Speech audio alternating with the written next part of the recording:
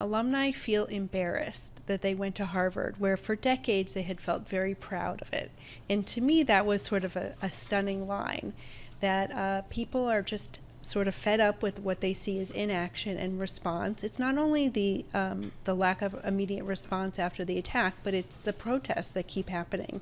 And there was a posting from Harvard Hillel that described an incident last week that is disrupting classes. Students don't feel comfortable going to the dining halls, going to university videos. events. Yeah. Yeah, I've seen some videos where Classrooms. it's like, yeah, you're just you, p- students are. I can't I can't imagine this ever happening at my college. Like you're in a class, and somebody comes in and, and just starts essentially protesting, completely disrupting the class. It looks like the the professor has no power, no recourse. The per, the students all just like sit there and, and let this happen. And the criticism is how is this how is this free speech if it's disruption and hate speech? How are you getting an education if you can't participate in your classes?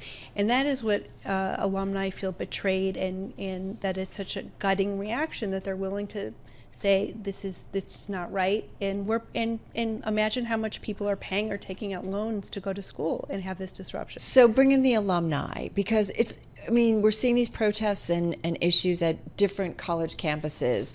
Um, you and I were talking before we got going. Um, 60 Minutes did a piece and they talked about what's going on at Columbia. They also showed some of what how Dartmouth is handling it. So there's a lot of issues. What specifically though is getting really um, at the Harvard alumni? Is it the way the university is ultimately handling all of this? Yes, they, you know, again, it's there's no there isn't the type of discourse and education that's going on if students are you know as mitt romney and seth klarman described in a letter they, they're they're staying in their dorm rooms students are taking their names off of their door of their names in dorms because they're afraid of repercussions and that isn't a place where you they recognize the harvard that they attended you know a decade or more ago So it raises the question about whether or not this is these alumni have any power. Uh, Fifty-one billion dollars.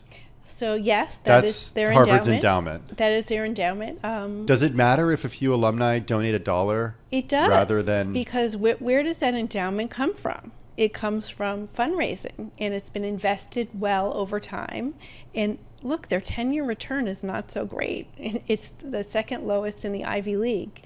So they need money coming in every year, um, to, you know, to help with those returns. Inflation is up, so whatever they're earning, uh, they need they need help to bolster their returns. Is private equity going to give them the returns that they had? You know, they're they're still suffering from Right. investment decisions that they made selling private equity on the secondary market after the crisis. That you know their returns are not so terrific compared to their peers. Oh, but alumni are specifically, Janet, and help me here. They're they want the administration, they want the president of Harvard University, what to step up and actually do what?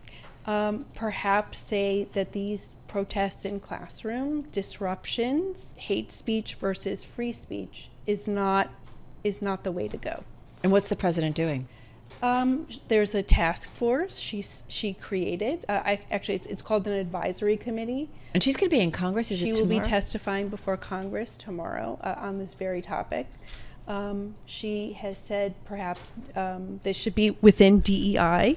Um, and Bill Ackman, you know, a Harvard College alum and a Harvard Business School alum, Yeah. you know, has has given a whole host of things that he would suggest her doing. And uh, what he had said on Twitter today is she hasn't responded, and it's been almost a month.